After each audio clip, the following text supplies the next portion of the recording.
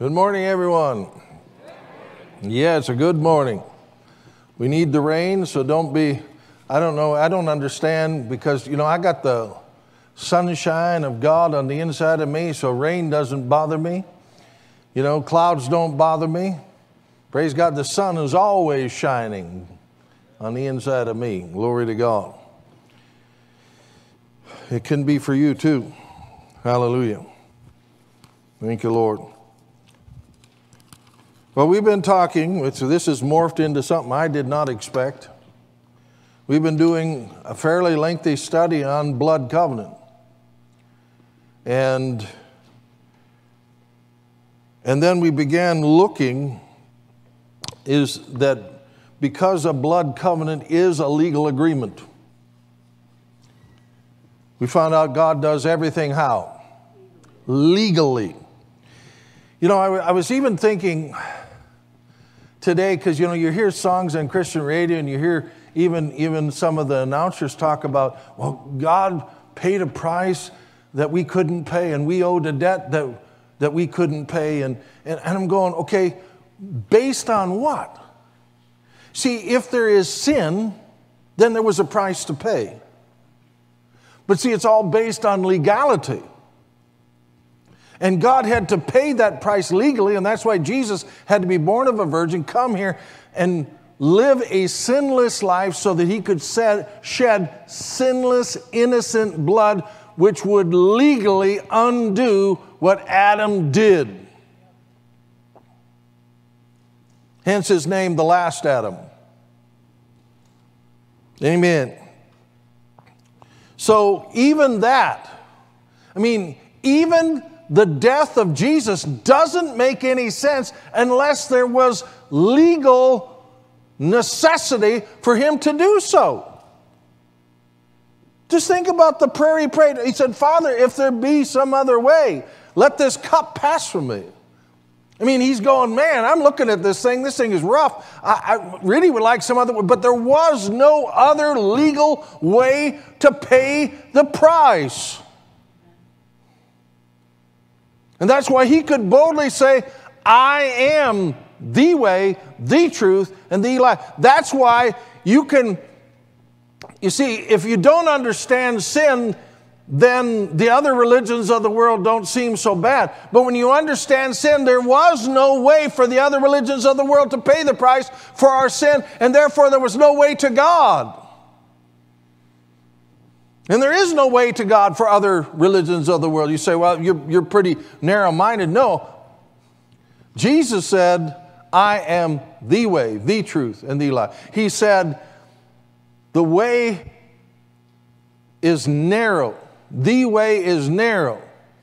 And the gate is narrow that in how you enter into life. Matthew 7.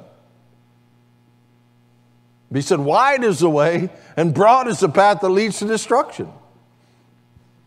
And many there be that go in thereat. So a lot of people are, are taking that broad path, but thank God because of the truth that's being shed forth and shown forth, glory to God, we're beginning to, to see many more people come to Him. Amen. Now, we've been talking then specifically about prayer and how prayer is what? It, it's, it has to do with covenant. Do you remember the definition? A legal transaction, a legal blood covenant transaction. Thank you, Mike. A legal blood covenant transaction. So I think people, you've gotten this religious idea of prayer is just kind of, you know, uh, you know, you still hear preachers say, you know, storm the gates of heaven, bombard the gates of heaven. Why? Okay? Think about this. I mean, how would the judge in a courtroom, if, if you came in and tried to bombard the courtroom with your testimony or something? I mean, he'd look at you, probably throw you a bailiff, get rid of that person right there. Order in the court. You know? Right? Because that's, that's not necessary.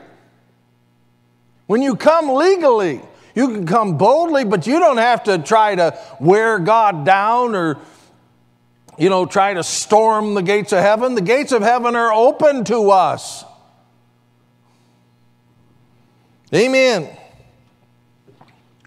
So we, we saw that we use the prayer of faith for what reason?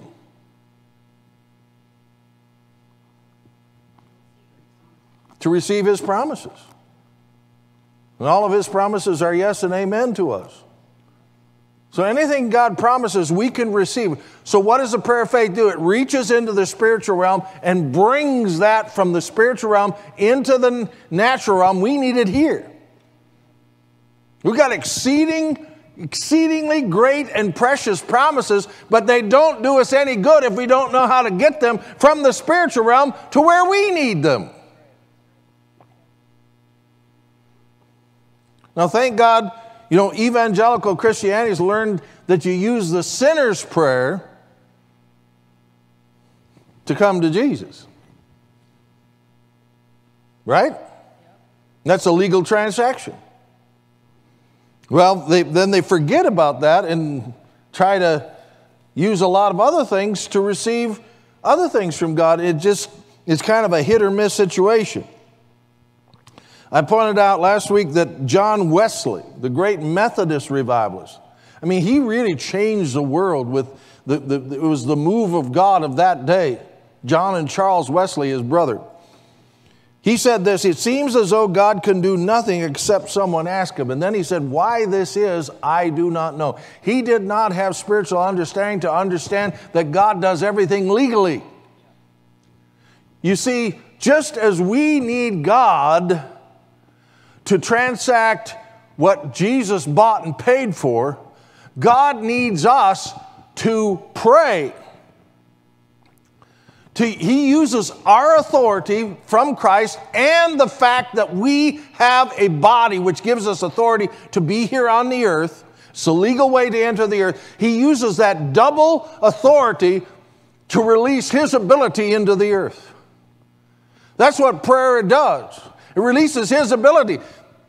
Whether it's prayer of faith for you, prayer of agreement for someone else, amen, supplications, intercessions, prayer of consecration, dedication to the will of the Lord, prayer casting your cares upon the Lord, united prayer, the prayer of praise and worship. Glory to God. No matter what you're praying, your transaction, you, you're releasing God's ability into the earth. We're going to look at all these really more in detail today and really, hopefully, we'll get to the end of it. I don't get on too many rabbit trails. Okay? Now, we pointed out that there are, are several kinds of prayer. Turn to Ephesians 6. I just want to show you. Ephesians chapter 6.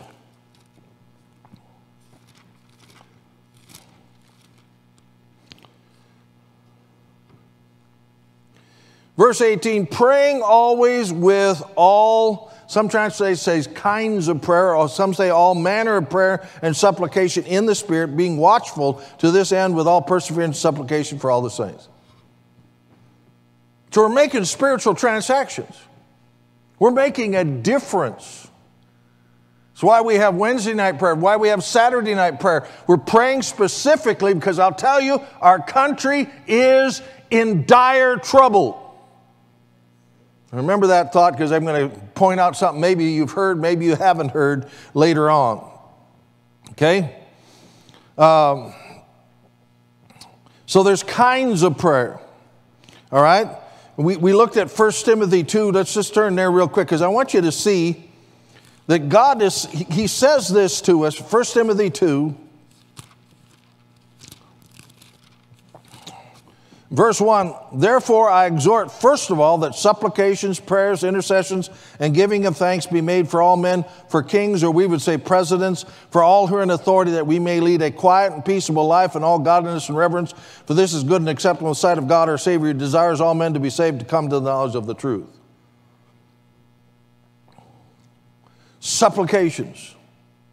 We talked about that's reminding God of His word prayers. We're, we're going to talk about the different kinds of prayers. Intercessions, Intercessions is not something you could just decide to do on your own. Intercessions is initiated by the Holy Spirit. That's Romans 8 26 and 27. And of course, giving of thanks. We can't ever forget to give thanks. All right?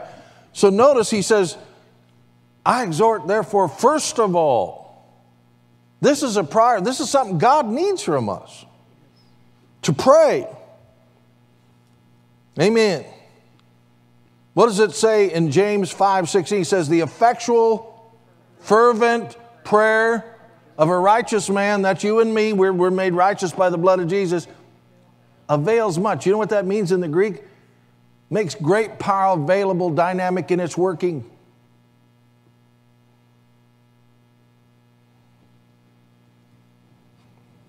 If we do this right,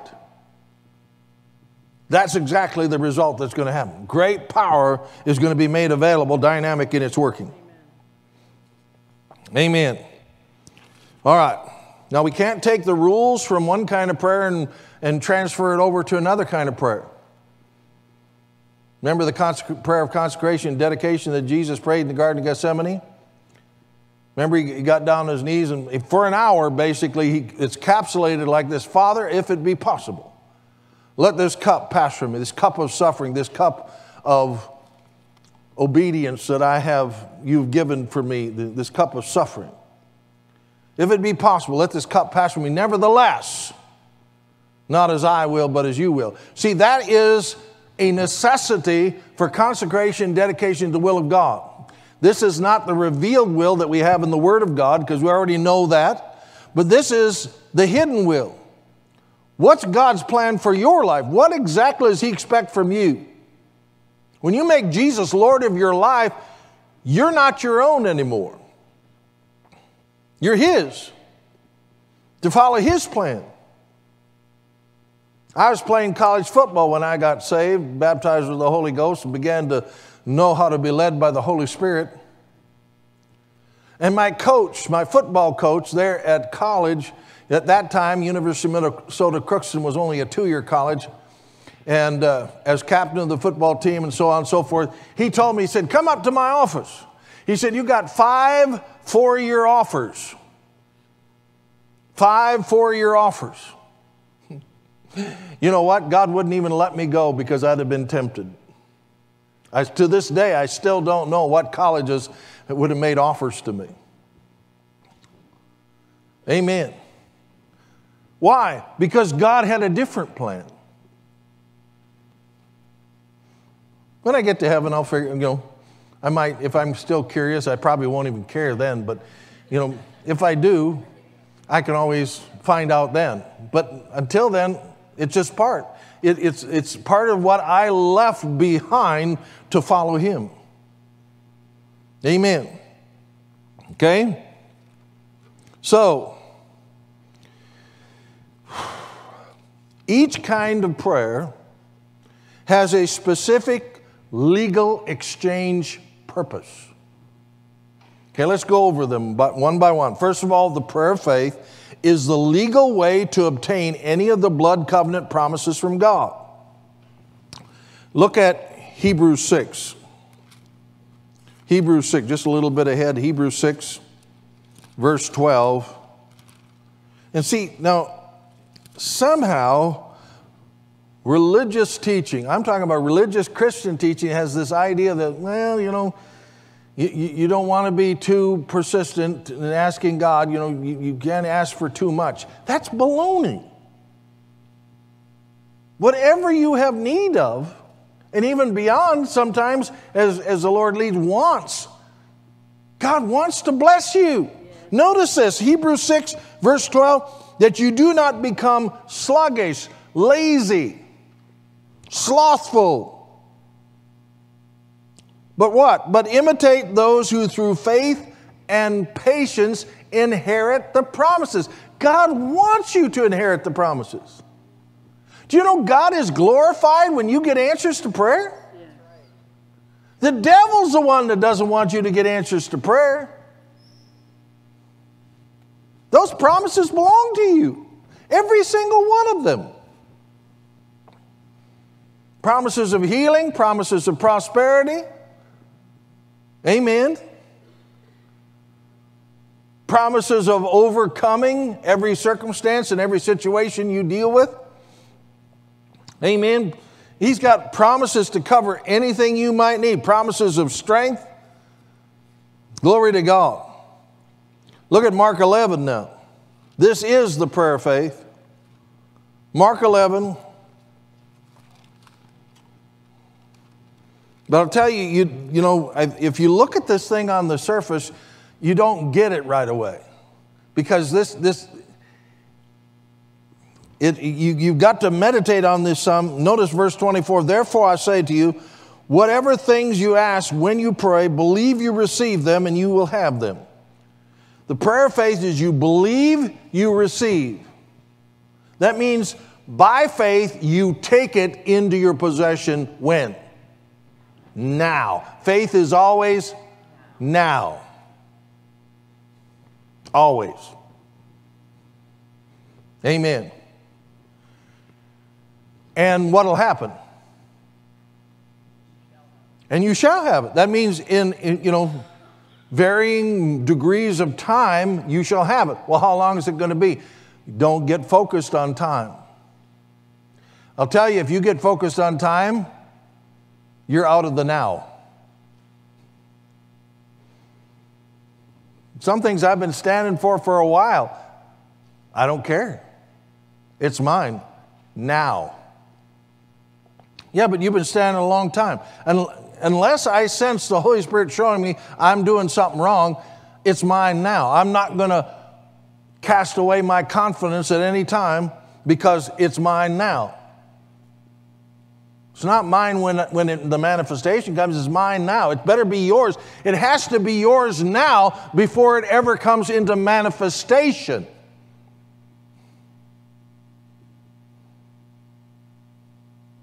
See, again, you got to quit thinking physical. You got to think spiritual. It's yours now. Why? Because Jesus bought and paid for it. When you lay hold of it by faith, it's yours. You're drawing that through your confession, through your thanks and praise, through your believing in your heart. It draws it from the spiritual realm. I'm sure it seemed like a long time for Abraham 25 years he stood on the promise. God said, I have made you a father of many nations. He had no children, 25 years, but he was strong in faith. The Bible says he staggered not at the promise of God through unbelief. Well, he had a couple little detours, tried to help God out, produced the whole Muslim nation, the whole Arab nation. Because the Arabs are the descendants of Ishmael. That's right. So when we try to help God out, we get an Ishmael, and usually the Ishmael comes back to bite us in the backside. Mm-hmm. So let's stay away from the Ishmaels. This is why begging, crying, storming the gates of heaven all don't work in obtaining from God consistently. The prayer of faith can and will receive any and all of God's blood covenant promises if prayed according to the blood covenant principles that I just laid out. The prayer of faith works how many times? All the time. Number two, prayer of agreement. Prayer of agreement is a legal way to use your faith to obtain the blood covenant promises of God for someone else, as long as you can get them to agree with you. Not just mentally assent, and that's the thing you have to be careful. You got to get them to have faith in your faith. Well, why don't you just teach them the word? Well, there may not be time. May not have time to teach them the word.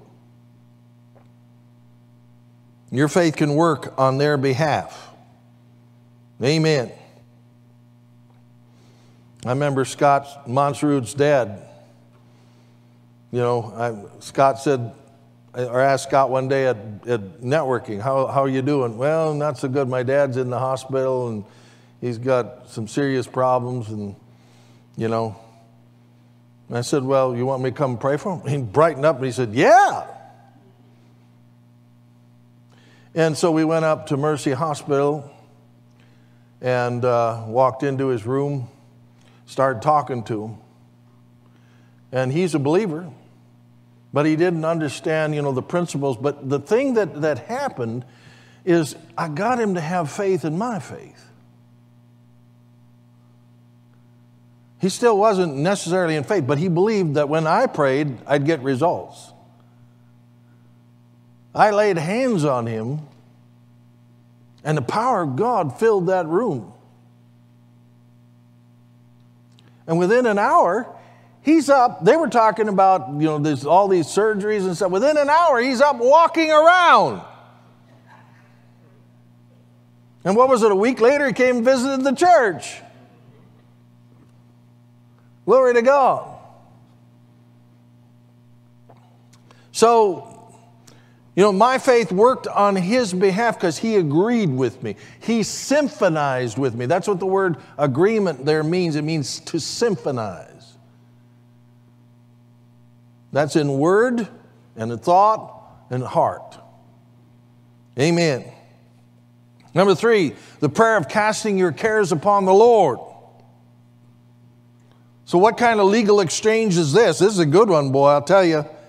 This is a legal way to cast or throw worries, anxieties, frets, stresses over on the Lord and leave them with Him.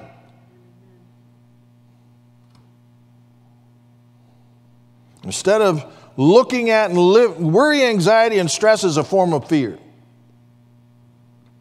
Instead of looking at and living by and trusting the Word of God, the blood covenant, the worrier is looking at circumstances and what they are telling them instead of allowing the Word of God to be their root, and it makes them anxious.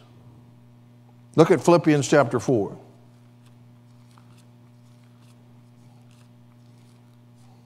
I mean, you know, one of the things that people have done to try to get away to feel like they're not worrying is called worry stress or fretting. That's still worry. Okay? And doctors will tell you that worry, stress, whatever, puts pressure on your body. Why? Because worry causes you to produce what? adrenaline. You, and, and see, that's why a lot of people that worry get arthritis because it puts stress and it, it affects your joints particularly. Amen. My grandma Anderson, when you meet her in heaven, she is one of the nicest, sweetest, gentlest ladies you'll ever meet but she was a champion worrier. I say, Grandma, why do you worry so much? Well, I don't know. It's just what I do.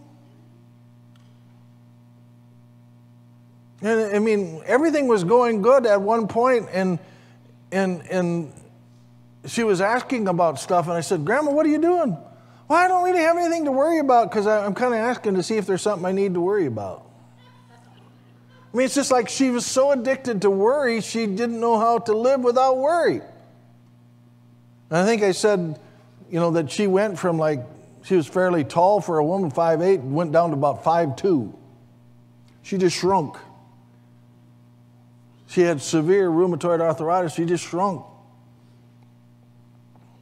Amen.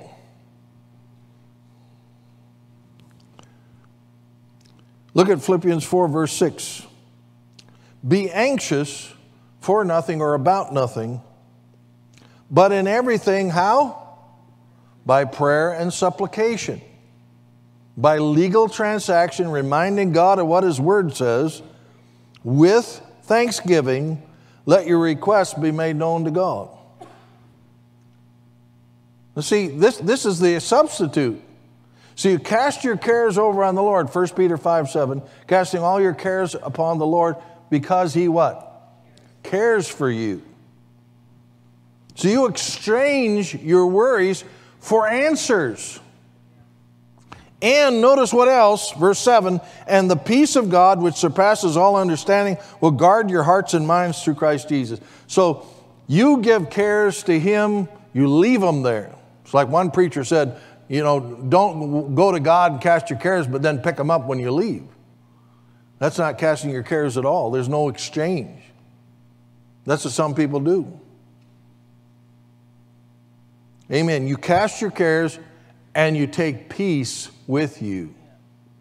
And peace is much better than worry, anxiety, and stress. Amen? So it's a legal exchange. Amen. How often do we pray this prayer? As many times as you need it. I'll tell you, after a while, you get tired of casting your cares on the Lord. You'll leave them there. How many times you pray the prayer of faith? Once. Anything more than once is unbelief. That's why if you, if you believe you received, why are you going to pray again?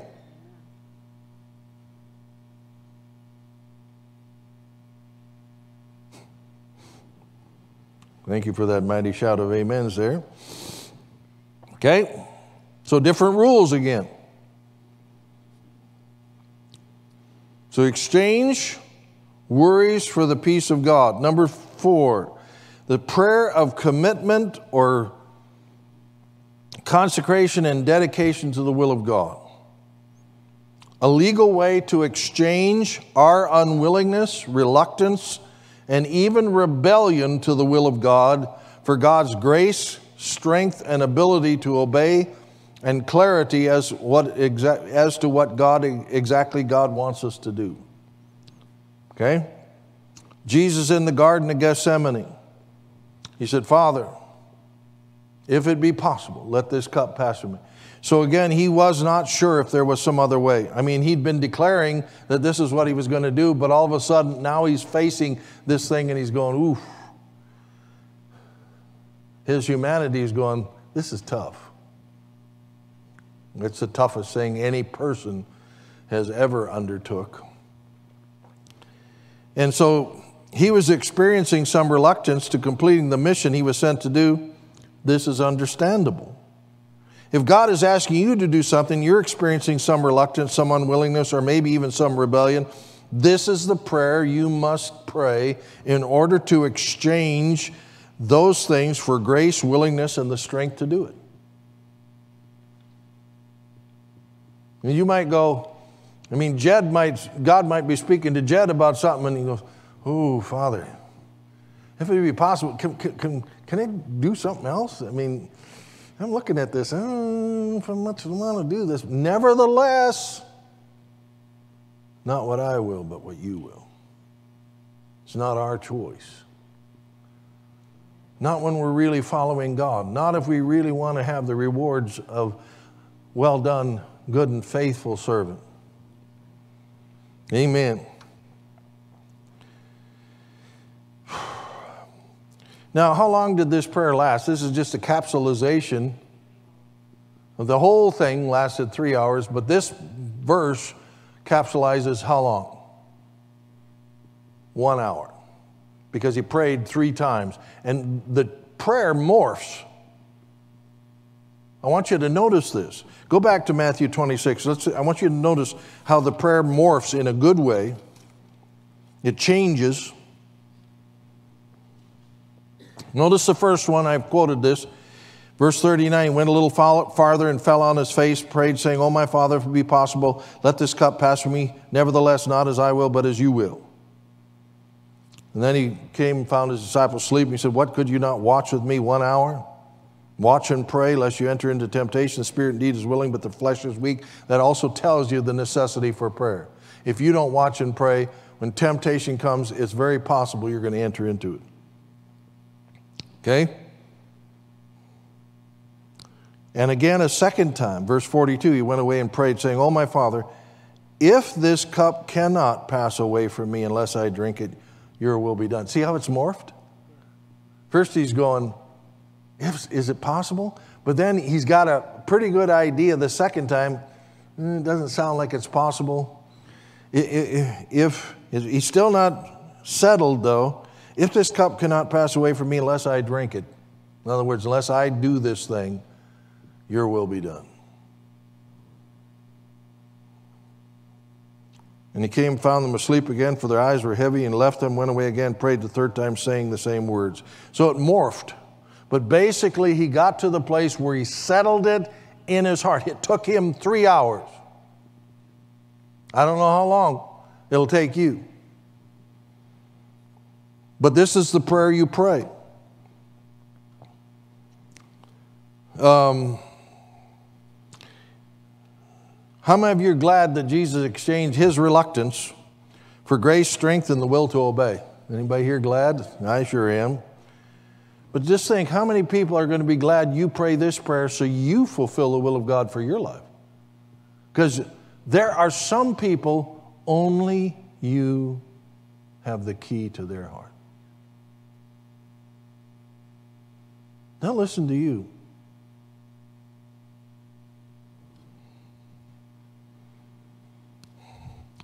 Note that there was not a hint of reluctance or regret or second guessing, guessing once he had finished this prayer. I mean, he was, what, what did he say? Look at here. Rise, let us be going. See, my betrayer is at hand. He knew Judas was coming. And he said, Okay, let's go do it. He's got it now. He's got the grace to do it. He's got this thing settled in his heart. And he's, he's got the grace, the strength, everything he needs and he goes and he does it. Don't think that we cannot pray this prayer if we're dealing with some of the same stuff because we're not greater than Jesus. Number five, united prayer. um, united prayer is found in Acts chapter 4.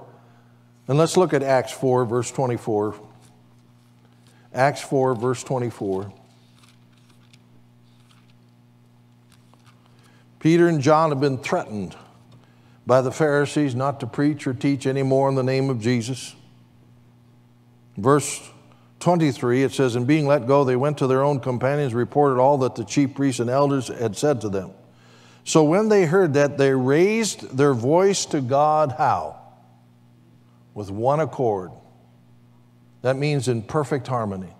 They were one mind, one spirit. They were together, one accord, and said, Lord, you are God who made heaven and earth and sea. And, and, and goes on to explain the prayer. Group prayer does not constitute united prayer.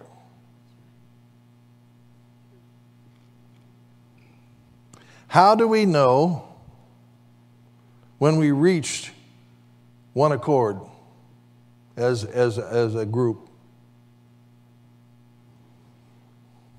We're going to see the same results.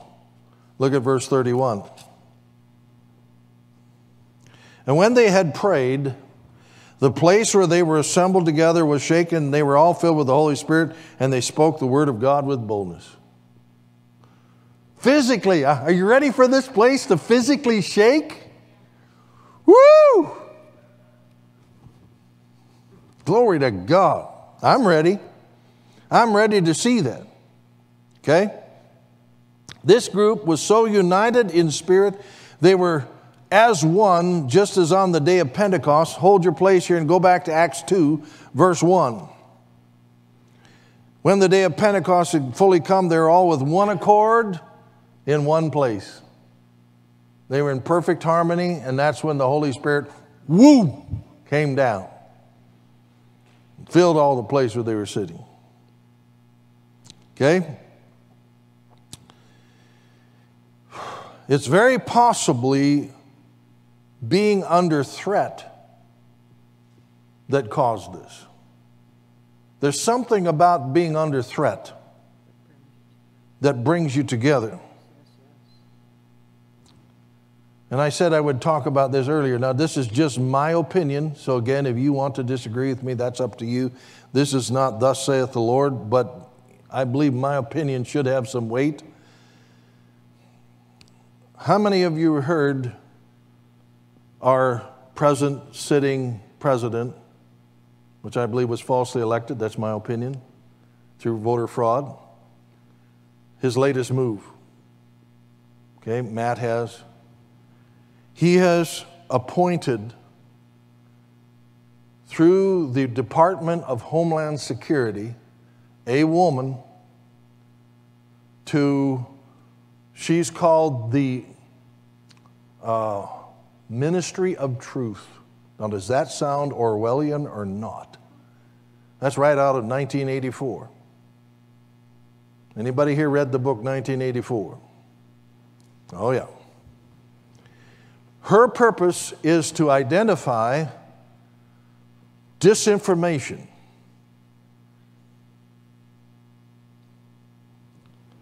Now, their definition of di- disinformation is people coming against voter fraud, people uh, criticizing people like, you know, AOC and other liberal women are saying that is a threat to national security. And you can criticize conservatives all you want, doesn't matter. But if it's, if it's one of those, it's a threat to national security. Um, people criticizing the president administration, people criticizing, you know, making known through, through social media or whatever. That is the greatest threat because I'm not going to stop talking. I'm not going to stop declaring the truth. Okay? That is a, Gary Bauer says it's the, the greatest threat that he's ever seen so far. I want to read you. Now, mind you, this was 1944. This is a quote by Alexander Trochevsky at Madison Square Garden in New York, the National Convention of Communist Parties. This is his quote. When we get ready to take the United States, we will not take you under the label of communism. We will not take you under the label of socialism. We will take the United States under the labels made very lovable. We will take it under liberalism, under progressivism, under democracy. But take it, we will. That's 1944. They're making their threat good.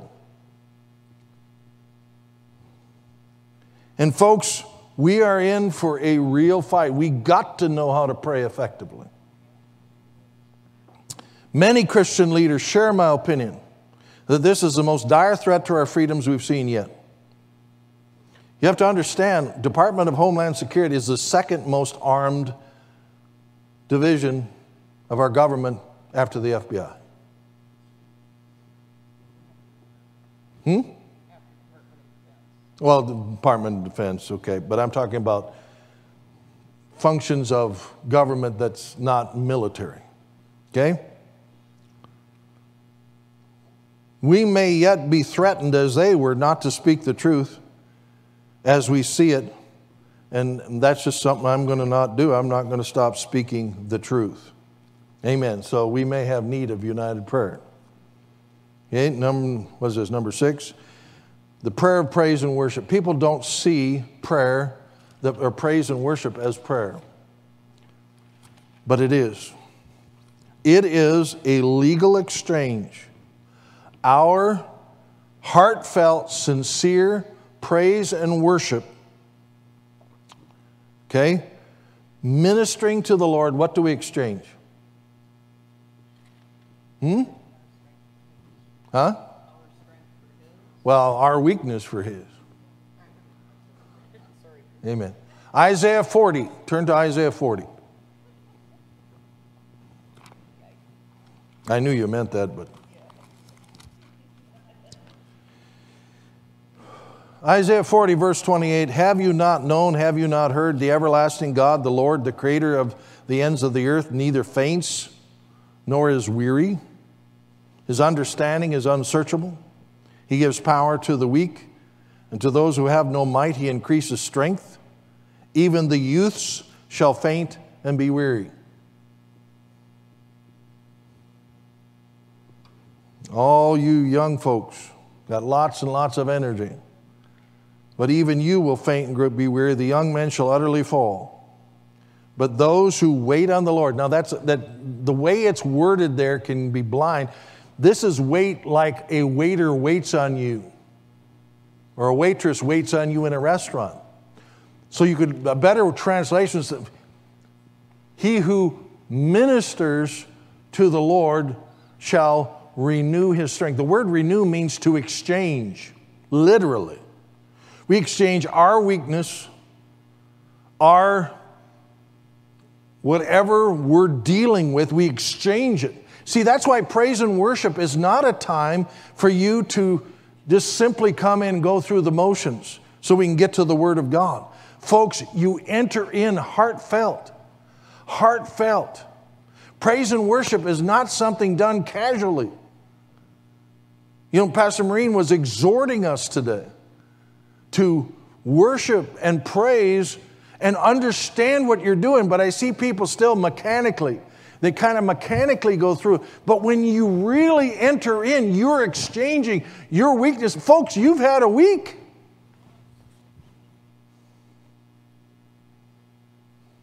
How many times in a day, Scott, would you say you get up and down off the floor doing carpet and tile and all the stuff you do? A lot. Okay? Well, that gets, that, that gets taxing.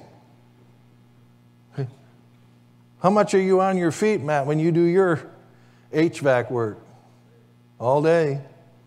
You know, all of you, you, you all of you doing something different. There's, there's, you know, life just saps from us. It does. Amen.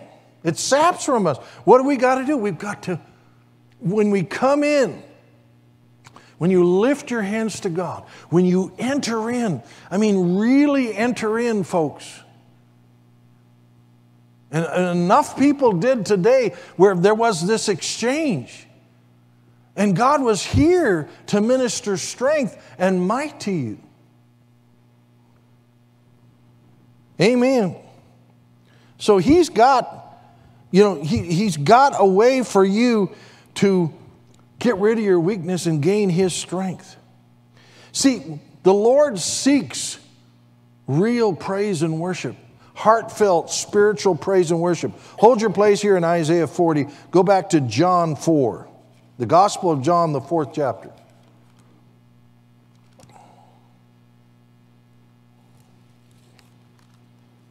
Jesus is talking to the woman at the well of Samaria the one who had five husbands and, and is living with a man right now, not in the right place with God. 4 verse 23. But the hour is coming now is when true worshipers will worship the Father in spirit, out of our spirit, according to the Word of God, truth. For the Father is seeking such to worship Him God is a spirit, and those who worship him must worship him in spirit and in truth. So, folks, when we do it God's way, God's seeking such heartfelt, spiritual praise and worship. It touches the heart of God. We can exchange our weakness, we can exchange our, our just lack of energy for His strength, His might, what we need, refreshing from the presence of the Lord. Glory to God. Many times when praise and worship starts, the last thing you feel like doing is praising and worshiping God. Anybody know what I'm talking about? But see, you enter in by faith. You start out not feeling like it. But I'll tell you, if you put yourself into it, God will meet you. You will exchange your weakness for His strength. His presence will come in and refresh you and renew you and fill you up again. Life saps life out of us, the life of God from. God will put it back in. Now, There is the prayer of faith, but every one of these other prayers have to be done in faith. You have to do the same. With praise and worship, you have to do it by faith, not because you feel like it. I don't feel like praising when I first start out. Now, the praisers, they come prepared, they're ready. But you have to come and decide to enter in. It's a choice of your will. And I'll tell you, when all of us enter in, watch and see what's going to happen. When the biggest percentage of us enter in, we're going to bring the manifest presence of God down in a great and mighty way. Now, let me talk about this just briefly as we finish up today. Prayer in the Greek, the word prayer, means to make a vow towards.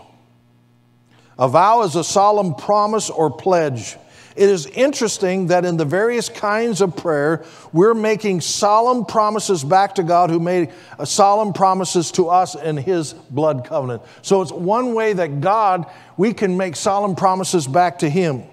For example, the prayer of faith is us making a solemn promise to stand in and speak only faith until we receive the manifestation. We believe we receive. And so we stand and speak only faith, stand in and speak only faith. All right. Faith ignores time. It is always what? Now. Faith spends its time rejoicing, praising, and thanking God that they have taken it, whatever it is, by faith, and it's theirs now. Tomorrow it'll be theirs now. Two weeks, it will be now. Six months, it'll be now. And like if you're like Abraham, 25 years will still be now. It doesn't, usually though, if you're willing to stand forever, it doesn't take that long. And we got better covenant established bond, better promises. The prayer of agreement is a solemn promise to stand in perfect symphonization in faith until the manifestation comes. Amen. And of course, it's now because it is extended prayer of faith to someone else. Prayer of casting your cares upon the Lord, a solemn promise to throw all of your cares, worries, anxieties, frets, and stresses over on the Lord and leaving there, leaving them there in exchange for his peace. Amen. Prayer of commitment, consecration, dedication to the will of God is a solemn promise to align your will with his will. It's prayed to the Father in Jesus' name Oh, I wanted to point out something. I got beyond this. Um, if you notice, God kind of corrected me on something. Go back to Acts chapter 4. Lord reminded me of this. Now, we pray the prayer of faith how? To the Father in Jesus' name. Prayer of agreement is prayed the same way. But now, the prayer of consecration, dedication, how did Jesus pray? He said, Father, if it be possible. Now, he didn't use Jesus' name because he is Jesus. he didn't need to unlock heaven because he was Jesus, okay? And he had full access to the Father because there was no sin separating them, okay? But now, I want you to notice this. The Lord really pointed this out to me, and I thought that was interesting. I had not seen this before. Acts 4, verse 24. So when they heard that, they raised their voice to God with one accord and said, What? Lord. Did they end it with Jesus' name? No. So in united prayer, not necessary. Prayer of casting your cares upon the Lord, not necessary. Amen. Because you're not, you're just exchanging something. You're not believing you receive something. Amen. Prayer, praise, and worship, not necessary. Okay? Interesting. I'd, I'd not seen that before. Okay?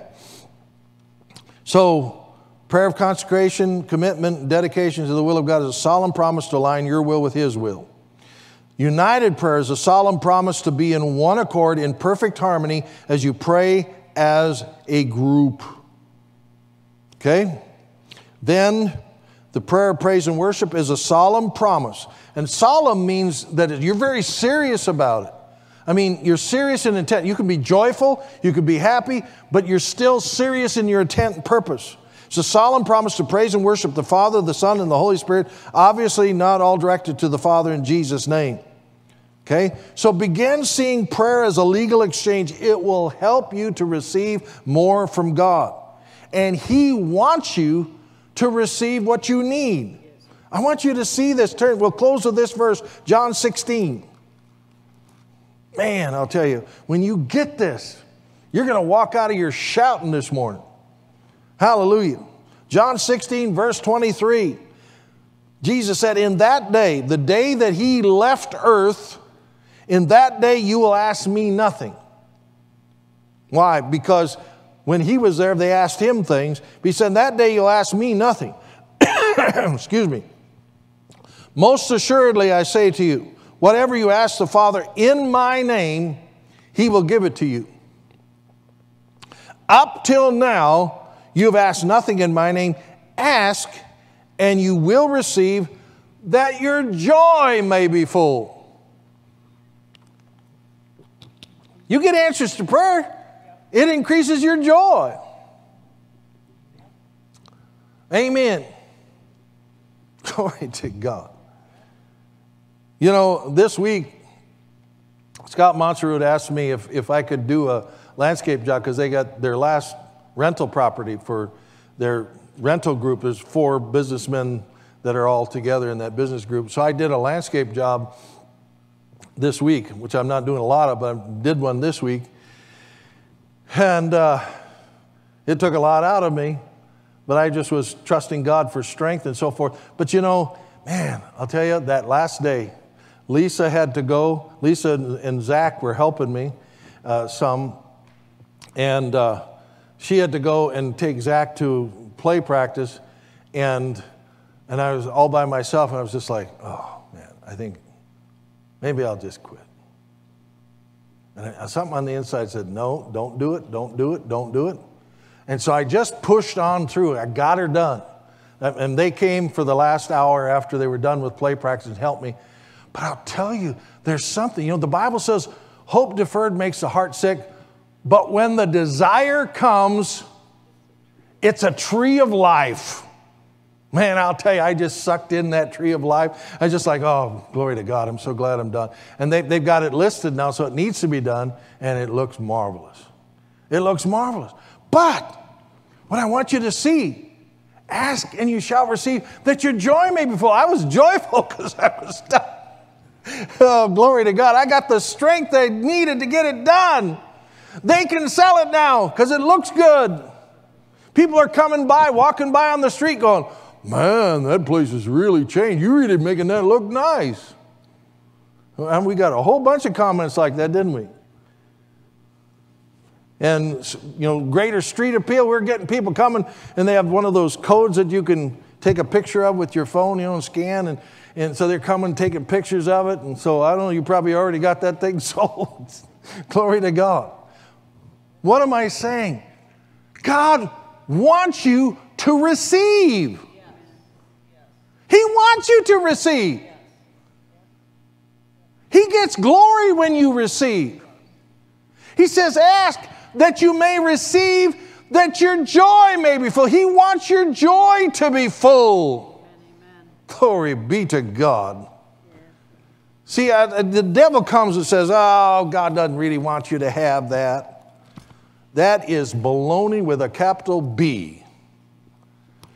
Ask that you may receive, that your joy may be. Amen. And we're going to go ahead and receive our offering this morning, but this morning, there's something special that we are going to also be receiving. Now, we, we want to receive the regular offering and then the other one? Okay. We'll do it together then. So, regular tithes and offerings to the church, but this is International Rhema Day. And, you know, if you appreciate the teaching that you get here, a lot of it has to do with Kenneth Hagin and the, the school that he, you know, the two years of schooling I got down there, the one year my wife got down there, Um, and it laid a foundation. Now, that's not all, you know, because I took a lot of time to study, to pray, to seek God. And so, but, but it was the foundation. And thank God, you know, Donna's brother Barry and Adrienne Jensen, you know, that are ministering to the Ukraine. Um, oh, by the way, just a little update. They are getting finances come into them every day for the Ukraine, and they are like a clearinghouse, so they send off the money and different things that they get to help people that are in great need in the country of Ukraine. And so, you know, but they, they're, they're graduates of Rhema. And, and so, glory be to God, you know, it, it, it's been a blessing to us. It's part of the minister, ministry uh, ministers organization, Rhema Ministerial Organiza- uh, Organization, RMAI, uh, Ministerial Association International. Uh, I'll get it. Uh, so it's part of the group that I'm, I'm, I'm, associated with and ordained through. And so uh, we do have roots here. And so this is to help people.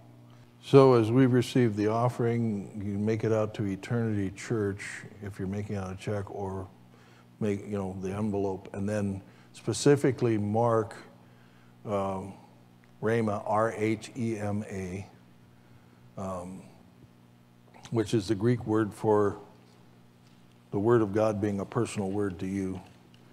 So R H E M A and the amount that you're designating. So let's pray as we get ready to receive. Father, we just thank you so much for this offering. We thank you for the word that we've received.